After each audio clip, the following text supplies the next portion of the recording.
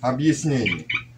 У меня, например, Газпром. Я ему должен кредит. Да, вот как вот мы им будем объяснять, Как мне чтобы они подождали? Они нам тупо, как вы, пеня у нас растут и все. Загоняют нас в долги. А благодаря вам. А договор был сразу на две недели, самая большая задержка. А потом выясняется, что у вас в, в каждом году у вас такие проблемы. А мы у вас тут не работаем, а залазим в долги все глубже и глубже. У меня умер папа, меня даже не на что было его похоронить. Я писал и бумагу, и все. Мне даже ни копейки не дали. Как-то... Я отлично понимаю ситуацию. Ну вот и Ну. все. Кармане. Ну извините, извините, но будьте добры рассчитаться с нами. Я свои обязательства обозвучил, которые... Сентябрь я нас не устраивает. А ноябрь, декабрь вообще не будет, что ли, зарплат? Конечно, Это к лету. Это в мае месяце. уехали за август еще не получили. Мы не можем забыть зарплату, Ну, потому не, что не. она белая. У нас нету конвертов, у нас нет... Мы не можем ее удалить. Как это белая зарплата? Вот мне Потому что при... Вот смотрите, мне приходит это, как ее, смс-уведомление, что переведены деньги. Я не знаю, за что это и кто это их перевел. Может, это не вы или что? Откуда я знаю, что это приходит? А вы говорите, я понимаю, зарплата одна должна прийти вся, они частями и кусками. Мы ее переводим Ну. аванс и зарплата. А, 40 и 60 процентов.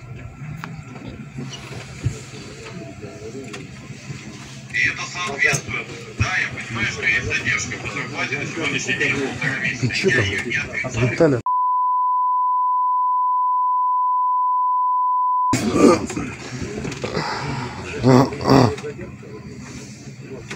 Мы сейчас должны закончить платить октябрь, мы еще не закончили сентябрь. Я не отрицаю задержку в полтора месяца, но, задер- но зарплата вся белая и платится двумя траншами, 40 и 60 процентов.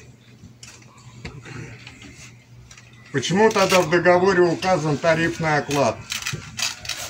А там дальше идет тариф, оклад, вахтовая А, вот вы- Вот смотрите, в таком случае я уезжаю домой, вы мне высылаете вот этот тарифный оклад, а говорите, а премию ты не заработал, да?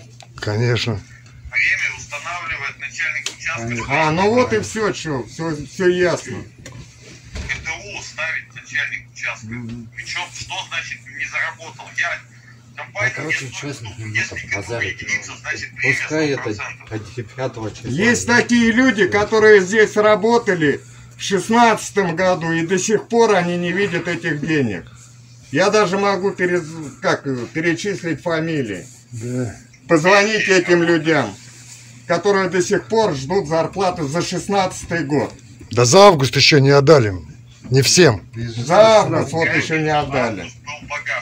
Если кому-то не погашено, я в частном порядке в понедельник перепроверю. Ну. Если у кого-то есть вопрос. Лю- Люди сидят на межвахте дома, и они до сих пор за август не получили. Раз говорю, если у кого-то есть вопрос по пятнице, в пятницу я погасил весь август. И все остатки аванса сентября. Нет.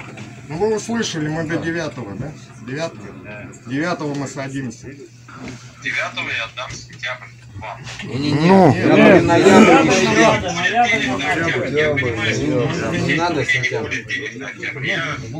Кредит возьмите. Будем сидеть и ждать, когда будут у вас деньги.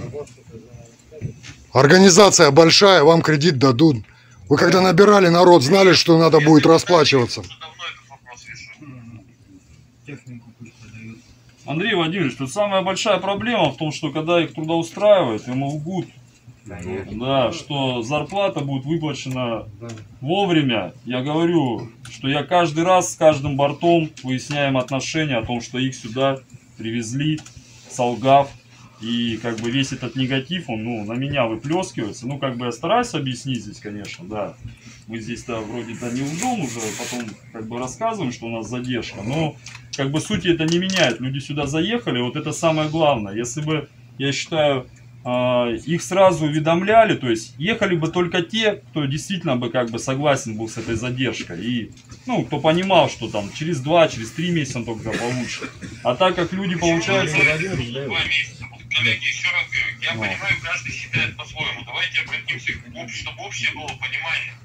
Задержка на сегодняшний день составляет полтора месяца. Это половина сентября и октябрь.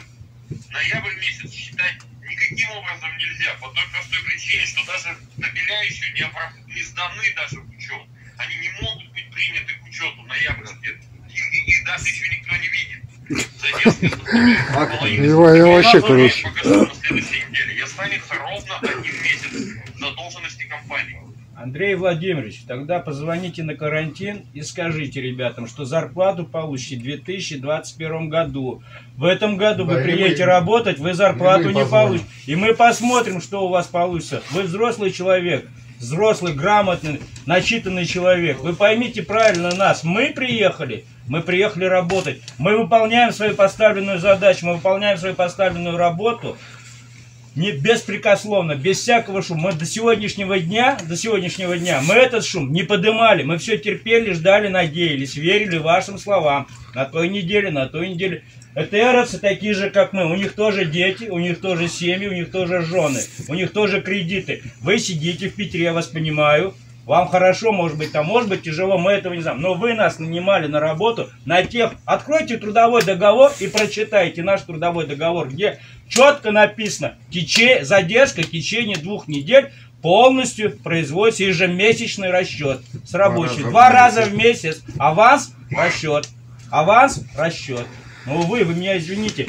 Я сентябрь отработал, октябрь отработал, ноябрь отработал, сейчас декабрь работаю. У меня трое детей, трое детей, у меня супруга, у меня квартплата ежемесячная. Меня никто не спрашивает, где я их возьму и как я их возьму. Согласитесь со мной? Я прав- правильно говорю, нет? Так будьте добры, моей жене позвоните и скажите, Нина Владимировна, вы меня извините, ваш муж получит в 2021 году зарплату, я в этом году не могу отдать. За ноябрь.